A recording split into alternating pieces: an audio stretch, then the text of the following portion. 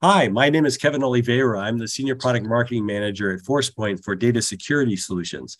And today I have joining me Jeffrey Hall, who is a Principal Sales Engineer at Forcepoint. And he will be sharing with us some examples of how we can increase productivity for marketers using ChatGPT, um, leveraging the, um, the capabilities of Forcepoint Data Security. And so we'll be giving some examples of um, some positive things that people can do um, particularly for marketers. Marketers, um, ChatGPT really is a, just a tremendous opportunity.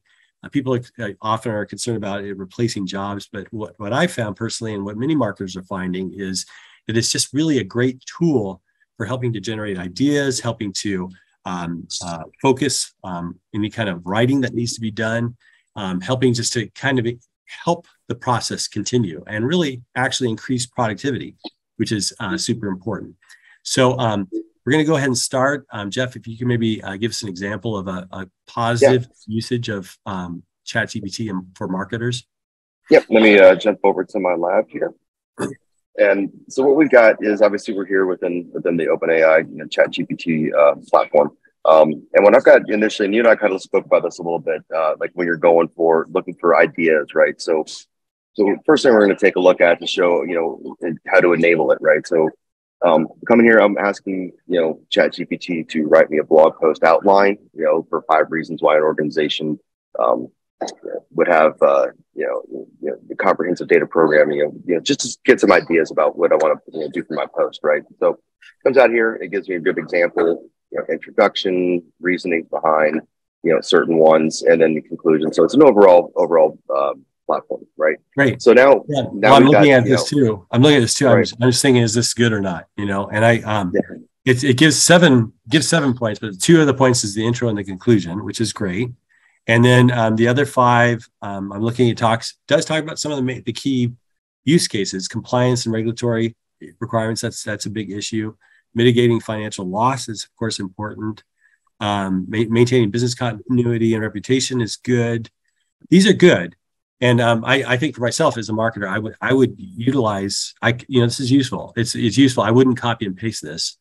Um, I don't think I would even write my blog directly based on it because I do think I have some additional things that I would like to uh, put in. And of course, there's a lot of content that needs to be put in, but this is good. It, it could save some time. Okay, um, Jeff. So um, what would be another example of marketers using this that may not be such a positive?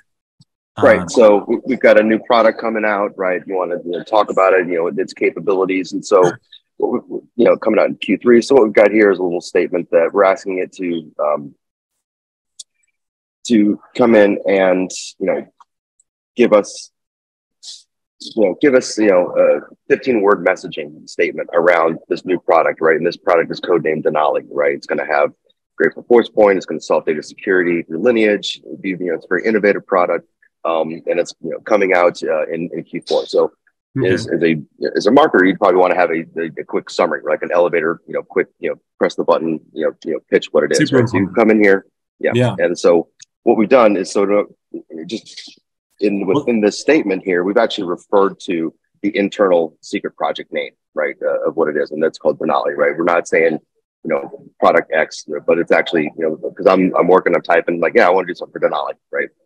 So what's happened here is I've got a pop up that comes. I'm like, all right, well, there's something happened here that's preventing it from go out, right? So what we've done is we've added protections around our project, you know, product names and project names uh, from that. And so here, I'm like, okay, well, I probably don't want to just get this out there. I don't want the leaked out into uh, into the space about you know the new project coming up.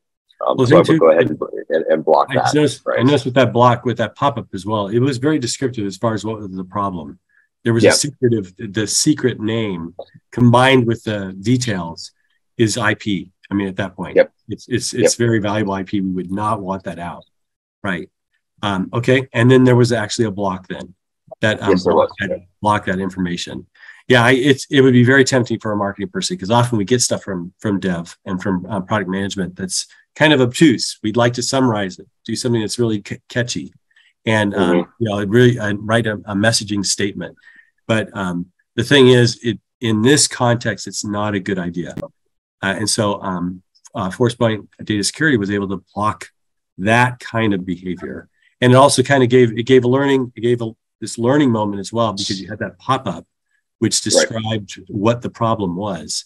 So if your person can understand, you can't put internal names of products and the details of those products that are future roadmap things. Those cannot go out. And so it was able to right. catch that. Great. Exactly. Yeah. Okay. Good. Well, uh, thanks. Thanks for your time, Jeff.